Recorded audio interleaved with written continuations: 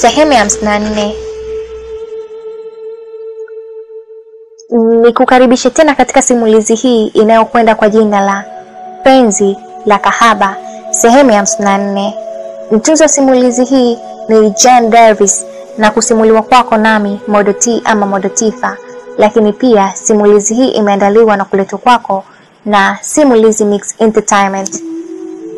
Kabla hatujaendelea na sehemu yetu hii ya hamsini na nne, tujikumbushie sehemu ya hamsini na tatu tulipoishia.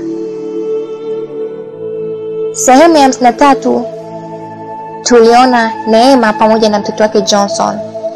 Neema alikuwa akiendelea vizuri tu katika malezi ya kumlea Johnson, na hivyo baada ya maisha kuwa magumu na biashara yake ya miogo kumwendea vibaya, aliamua kuanza biashara mpya ya kuuza pombe, na hivyo alifanikiwa katika biashara hiyo, kwani alipata wateja wengi sana, na kupata kwake wateja wengi sana kulimfanya asahau kufanya usafi wa pale nyumbani kwake. Je, nini kitaendelea? Kujua yote haya, endelea na mimi, na bila kusahau upande wa mama Alex na kina Maria, nini kiliendelea kwao? Tuendelee kujua nini kiliendelea.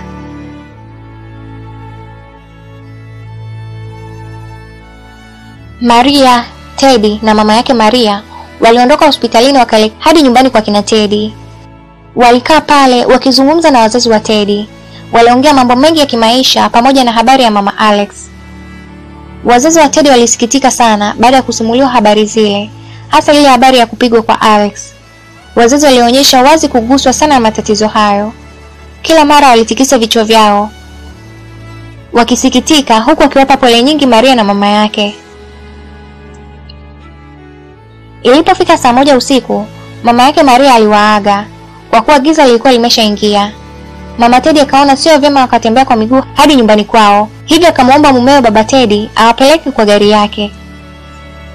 Baba Tedi alikuwa na roho nzuri, wala hakupinga wazo la mkewe, akamuunga mkono kwa moyo mmoja, huku akitabasamu. Alichukua funguo za gari, kisha wote wakaelekea nje. Maria na mama yake waliingia ndani ya gari, wakaketi siti za nyuma. Baba Tedi akawasha gari, akalitoa nje ya geti akaingia barabarani kwa mwendo wa kistaarabu.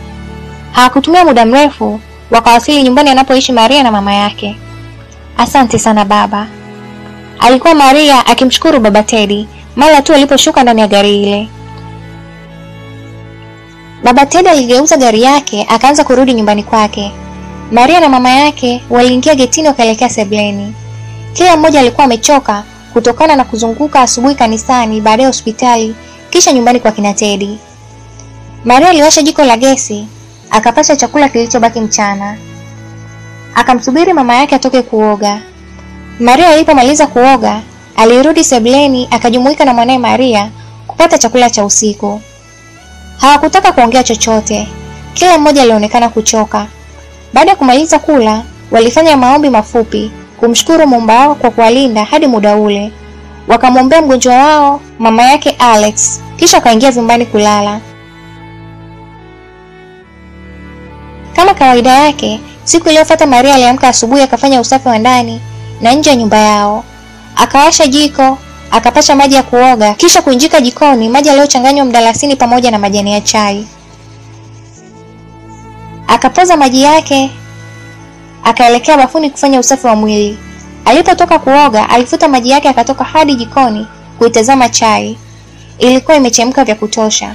Akamimina chai kwenye chupa ya chai akainjika tena maji mengine kwa ajili ya kuoga mama yake.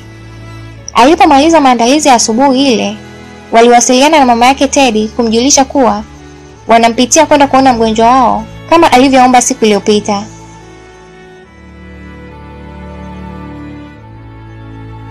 Mama Teddy alitaka kuwa wasimpitie nyumbani kwake. Sio kwamba hakupenda wafike nyumbani kwake, bali hakupenda kuwasumbua, kutembea umbali mrefu kwa ajili yake.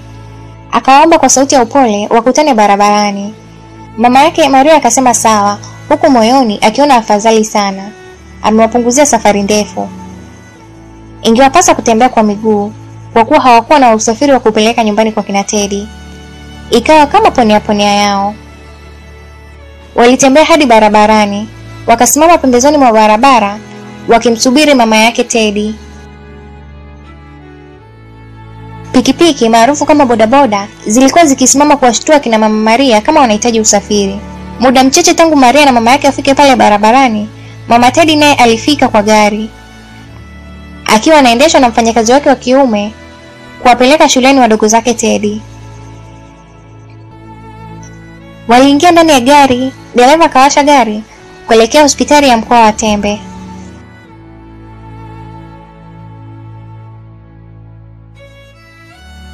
Samahani sana jamani kwa kuwaweka muda mrefu kunisubiri barabarani, alisema mama yake Teddy walipomaliza kusalimiana. Wala hatujasimama muda mrefu kiukweli, umewahi sana, ni kama umetumia dakika ishirini tu, alijibu mama yake Maria. Kumbe nilipatwa na hofu, nilifikiri huenda nimewaweka masaa kadhaa, alisema mama yake Teddy. Mama bwana, eti masaa kadhaa si ungetukuta miguu yetu imezama tumboni, alisema Maria huku akicheka. miguu inaingia vipi tumboni? Umekuwa Mswahili sana mwanangu, alisema mama Teddy. Maria naye alicheka. Hawakutumia muda mrefu, wakawa wamefika kwenye lango la hospitali ya mkoa. Dereva akaingiza gari akaendesha hadi kwenye sehemu maalum ya kupaki magari. Wote walishuka kwenye gari wakaelekea moja kwa moja hadi chumba alicholaza mama yake Alex. Waliingia, mguu mmoja ulifungwa seti, kisha kuwekwa kwenye fuko la mchanga likining'inia kwa chini. Fuko lile la mchanga liliwekwa kwa ajili ya kumsaidia mfupa uliovunjika ukae sawa, unyooke, ndipo afungwe POP ili mfupa ujiunge. Habari dokta, vipi mgonjwa wetu? aliuliza mama yake Maria mara tu daktari alipoingia mule. Ni nzuri kiasi, japo fahamu bado hajapata, lakini tunatarajia atarudiwa na fahamu muda sio mrefu. Na vipi mguu wake huu? aliuliza mama yake Teddy, huku akiutizama kwa huruma mguu uliovunjika. Kwa sasa nimemfunga seti, ni kifaa maalum kwa ajili ya kufanya mfupa ukae sawa.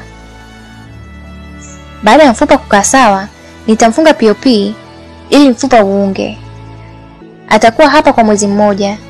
Hivyo ndugu zangu, msio na wasiwasi wowote, kweni na subira tu, alimaliza kueleza Dr. Markel. Sawa daktari, waliitikia wakatoka nje kuelekea alipopaki gari yao.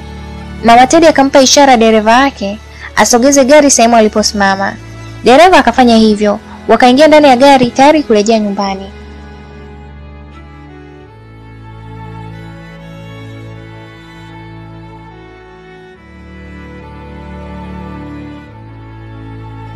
Itaendelea. Je, ni nini kitaendelea? Mama Alex atapona? Na Alex na Alex naye yuko wapi?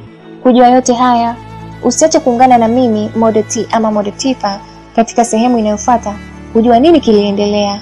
Bila kusahau, simulizi hii imetungwa na mtunzi mahiri sana aendaye kwa jina la Jan Darvis, na pia simulizi hii imeandaliwa na kuletwa kwako na Simulizi Mix Entertainment ambao unaweza kuwapata kwa WhatsApp namba 0712 50 51 63.